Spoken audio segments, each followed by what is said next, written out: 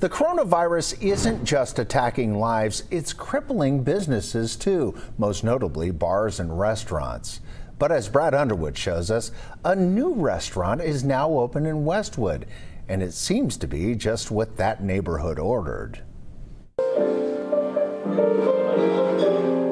Ivory House will celebrate a month of business later this week. Westwood's newest neighbor takes familiar food favorites to a new level of fine dining.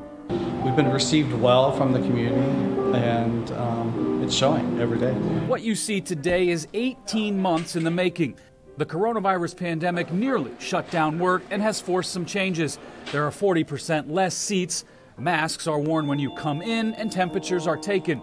There's curbside pickup and soon outdoor seating, both options not originally in the plans. We considered about not opening soon, but the facility was ready, the restaurant was ready, and the community was asking for it.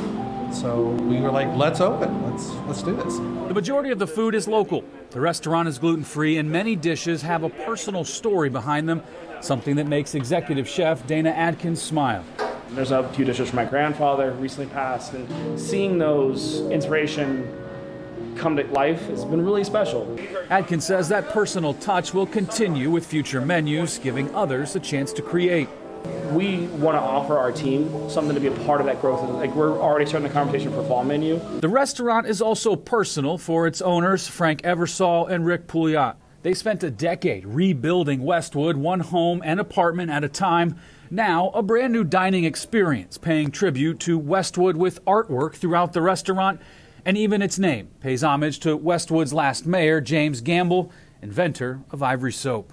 Everything, everything that he gave back to the community, uh, we thought it was only fitting to kind of tip our hat to, to Mr. Gamble and thank him for that. Right now, the menu offers lunch and dinner. Next week, brunch comes to the table in Westwood. Brad Underwood, Local 12 News. Alex. And today is actually James Gamble's birthday. Soon, Ivory House won't be the only new kid on the block.